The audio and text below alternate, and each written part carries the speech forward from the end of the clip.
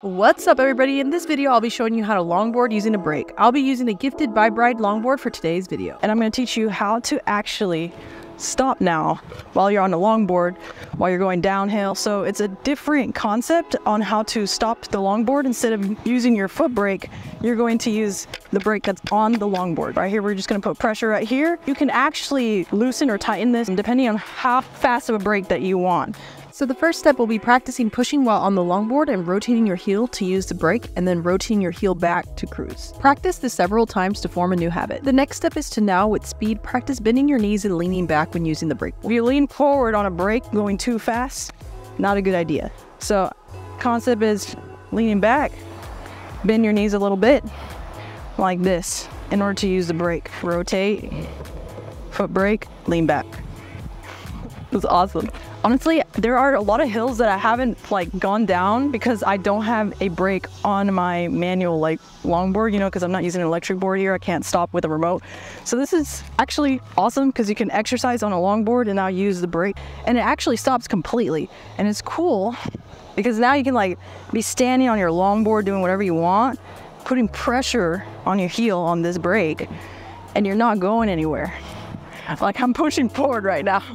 And as soon as I let go, boom, it moves. I think this is awesome for like those practicing because like it's like a good safety feature for people that are practicing like being able to stop. That's awesome. Basically your foot placement now for this board needs to be near the end so that you can just rotate back. Will the brake made me go and fall over like the momentum you can actually adjust the brake so that it doesn't like stop you so quickly so that you can do a gradual slowdown. And that way if you're leaning back a little bit even if you hit it really fast you're not going to fall off the board. So let me show you what I'm talking about. I love it. I love it. Okay this is gonna be actually gonna be able to go down certain hills that I'm scared to go down with a regular board. And you know I had to test this out. This is me towards the end of the slope, slowing down with the brake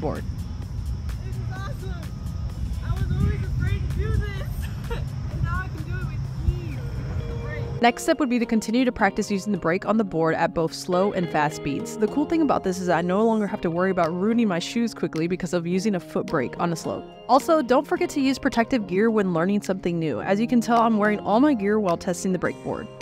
I do recommend that when you get this board, tighten it, tighten the trucks for sure when you get them in the mail.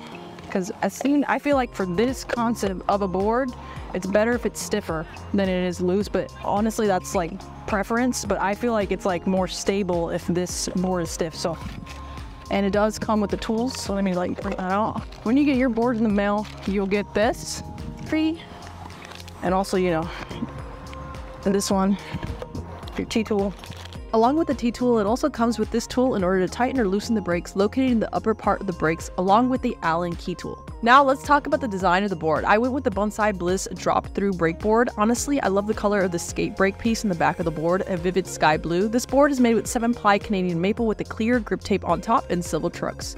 Now let's talk about the unique wheels that come with this board. These wheels gave a smooth feel for a ride and work similarly to the Orangatangs and it came with an Arctic blue bearings from ABEC 11, which works seamlessly for speed. With the sunset design background beside tree with roots forming a part of the board, this is a beautiful design. This build is designed to withstand 30 miles per hour speeds in order to hit the slopes with ease. This is a closer look to the brakes which are now being sold separately and can be added to any longboard. If you like this video, please like, comment, and subscribe for more videos. And let me know in the comments what you think about a longboard with a brake.